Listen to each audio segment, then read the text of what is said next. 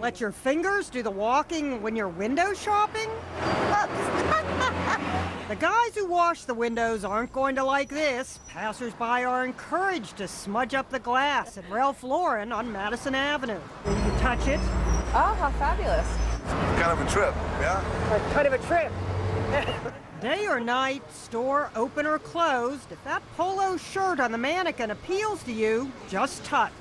It's just like you have the computer set up in the window. Right. What's the big deal? Yeah, that's, that's essentially what it is. Shopping on glass, we think we're the first ones to, to pull this off.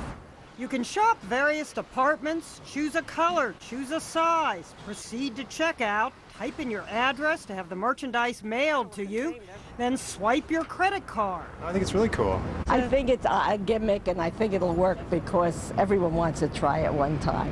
One time. It was Ralph Lauren's son, David, who dreamed this up, inspired by Tom Cruise. Waving his hands around like a conductor in Minority Report, tiny wires embedded in the glass transmit your touch. So you just have to be firm with it. Bocce, it's a visor, just for you. I think this would look wonderful on you, sweet pea. Can you jump up and touch it? Come on, jump up and you touch it. Good girl. Next thing you know, she'll be emptying the ATM.